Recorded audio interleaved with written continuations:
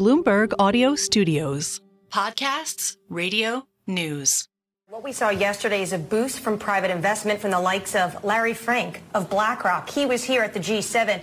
And what these in private investment funds are trying to do is boost money going to the global south, middle income countries. And part of this is made possible by programs at the World Bank. And I'm pleased to be joined by Ajay Banga. Thank you so much for joining us. Um, John there was talking about a big emphasis, especially on Africa. This is to try, one, counter China from the U.S. point of view, but also European leaders are trying to stem the flow of migration migration. How are you seeing this public-private partnership play out? Yes, I think Africa, the real situation is that Africa is going to be a billion and a half people going to two. And frankly, how can you not have a continent of that type contributing to future economic growth? That's the other way of looking at why Africa. And so what I'm trying to talk about there is what creates jobs for those young people. It's got a demographic dividend coming through it. But if you don't give them clean air, clean water, healthcare and education when they're growing up and jobs when they're older, we have a problem with that demographic dividend becoming a liability.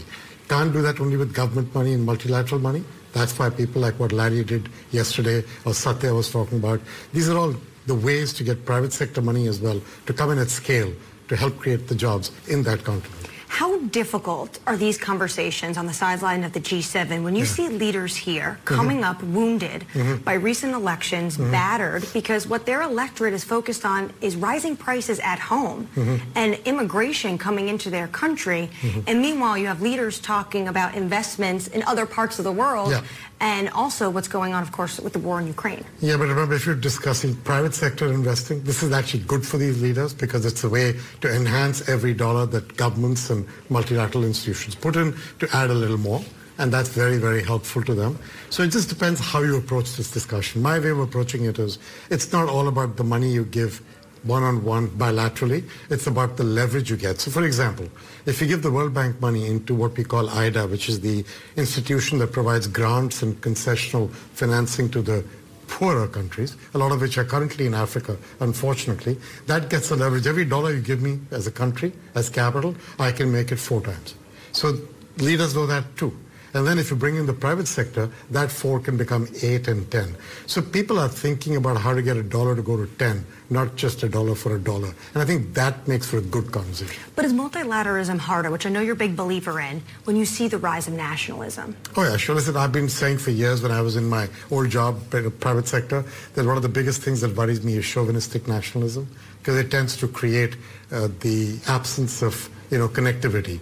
But I think if you look at the last few months itself, we've managed to get capital and hybrid capital and portfolio guarantees into our institution.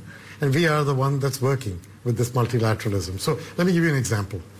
People keep asking me about the debt crisis in Africa, right? And if you think about the four countries from Africa that entered the G20 common framework, Zambia, Chad, Ethiopia, and Ghana, from the time they entered, we in the bank have given them $16 billion of money. Nobody else has given them money. Of that 16, 8 was concessional and 8 was pure grants. Of that 16, 9 was net positive. So that's all multilateralism at work. People just talk about one part of it, but multilateralism does work with the leverage that institutions like the bank provide. We, of course, have a U.S. election coming up. And part of what you've wanted to expand in your approach at the World Bank is not just poverty, but also climate. Do you think that would be at risk if we were to see a Trump presidency? Uh, not really. I remember that during his prior presidency, he was one of those who actually gave the capital increase to the World Bank. He sees the value of this leverage and the value of this kind of institution. Just to be clear, when I talked about a livable planet, I want to make sure you know it's not just climate. It's fragility, conflict, violence it's things like pandemics and healthcare. Because the whole idea of livable planet allows you to expand the aperture depending on what's relevant in that country, that region. In some cases it is climate, in some cases it's fragility conflict that is driving things, in others it is climate that is driving the fragility and conflict. You have to get to the root cause and try and go at it.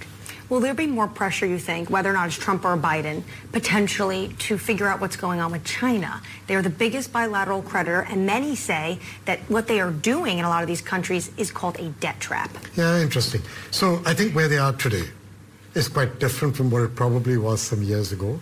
All the conversations we've had, the G20 Common Framework and the IMF and the World Bank run something called this Global Debt uh, Sustainability Roundtable. And in that, everybody comes. The multilateral, so are there, us, the bilateral creditors, the private sector creditors, of which there is a very large amount, and then the so-called earlier ones, the Paris Club. What's really changed is it's not just bilateral credit that's an issue, it's also the private sector that is involved in lending. So today, if you want to do a, a debt restructuring for these countries, you have to first know who's put what money on the table, what's it cost, what's the covenants of its repayment, what's the, the whole thing in it. Get that data on a sheet. Without that, it's very hard to know how to adjust that money in. So that took time. But as you see it getting done and you can begin to see countries moving through the framework, I still think it's too slow. I think it should be faster because if you make it faster, more countries will feel emboldened to enter into the framework. And I think we need to work our way through this. What you're offering, do you see as a viable path for these countries instead of, say, turning to China? Oh, yes. I think it's not an either or. By just China. People are borrowing money from India. They're borrowing money from the United States. They're borrowing money from the UK. Remember this, bilateral creditors have been around for a long time. It may be called ODA in some cases, maybe actual uh, lending through some countries. People, there are countries borrowing bilaterally as well. I don't think it's an either or, that it has to be either multilateral or bilateral. I just think it has to be done in a fair way, a transparent way, in a way that we can all understand what's going on, and then do it in a way that the countries who are borrowing also don't use only the borrowing as the resource, but also spend efforts on domestic resource mobilization, doing other things that enable them to free up the resources to do the right thing with development. Ajay Banga, thank you so much for your time.